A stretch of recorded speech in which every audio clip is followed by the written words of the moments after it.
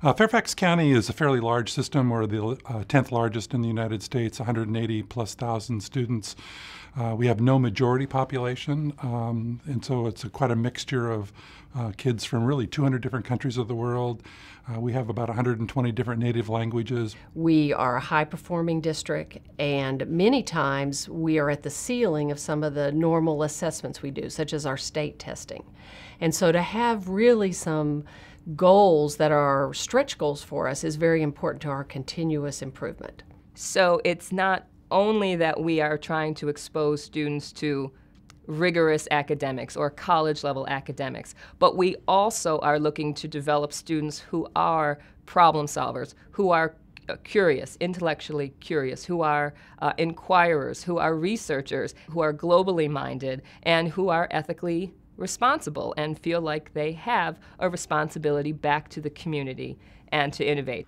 I cannot express how excited I was with the rich detail in the report. Just absolutely surprising in how much information there is there.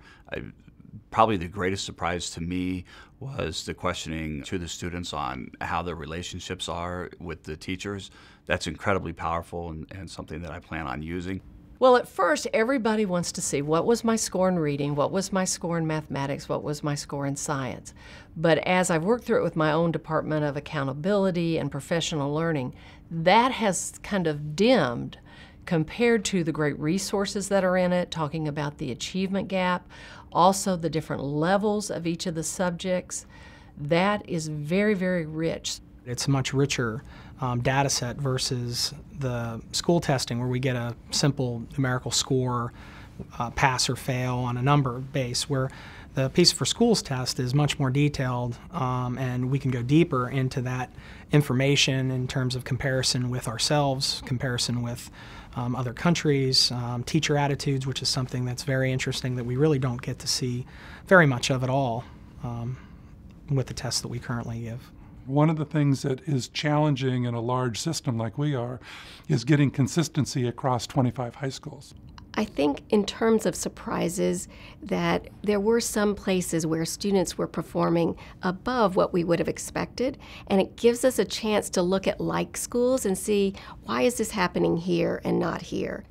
So we began a conversation with our principals about can you help us think through why at one high school you're going to have outstanding performance in mathematics and a comparably socioeconomic school not so good in mathematics or in science or, or in English.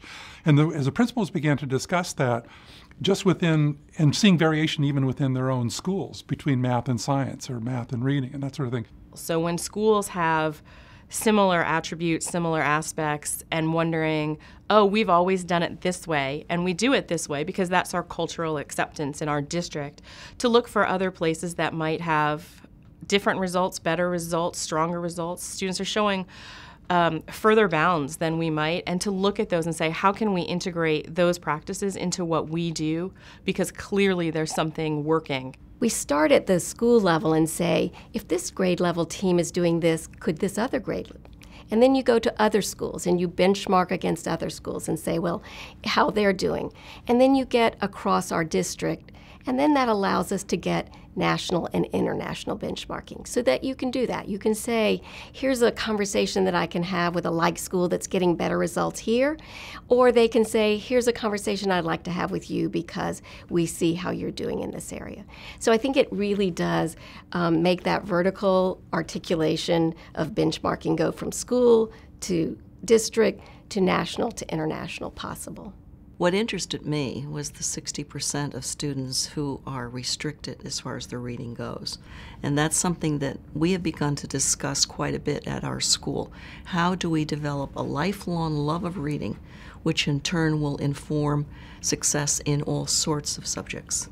Even students who are already proficient at problem solving and, and communicating uh, can grow and can learn to do this at a deeper level, um, to do it with higher level content. And we want to make sure that we continue to um, extend the knowledge and skills for students who are already proficient at things. We had been talking about critical reading for a number of years and been a goal. Part of that goal uh, came out of some discussions that we had anecdotally from teachers when we decided for our school improvement plan that reading was important. Our kids weren't reading deeply, and we knew that. They weren't reading thoroughly, they weren't reading enough. Um, so the results really indicated that our kids are reading average nationally, and it threw us off a little bit because our science scores were uh, comparatively higher nationally as well as our math scores. Fairfax County Public Schools offers a great curriculum throughout our, our schooling for students. And so it's interesting to look at where do girls and boys differ in their learning because the boys are outscoring girls in science. And so I want to really kind of look at that and say, how can we support girls, especially probably in physical sciences, chemistry, and physics, so that they have opportunities if they want to pursue those opportunities. But one thing that concerns us is when we saw the distribution of proficiency, despite the fact that the overall results were good, we still have, I think it was 22% of our students who are below what's called baseline level.